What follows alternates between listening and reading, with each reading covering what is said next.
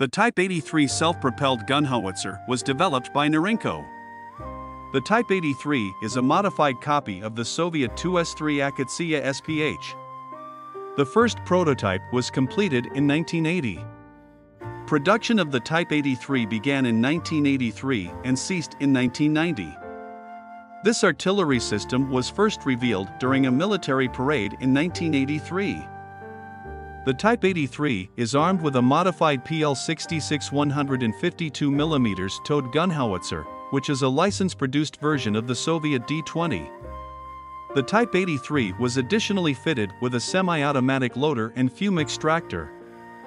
This artillery system fires all types of ammunition developed for the PL-66 gun howitzer, however it usually carries only HEFRAG and smoke rounds.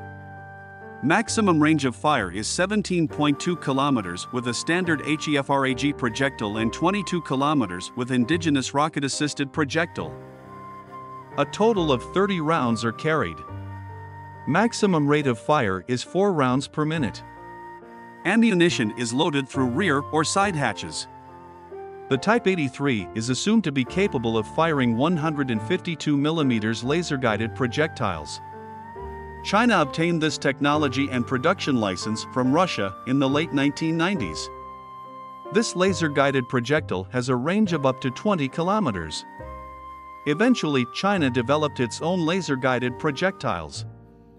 Secondary armament consists of a roof-mounted 12.7mm machine gun. This weapon is mainly intended for self-defense against air and ground targets. The Type 83 self-propelled gun howitzer is based on the Type 321 tracked utility chassis. Vehicle is powered by the 12150L diesel engine, developing 520 horsepower. Armor of this self-propelled howitzer provides protection for the crew against small arms fire and artillery shell splinters. Successor to the Type 83 became the PLZ-05. This self-propelled howitzer was adopted in 2008.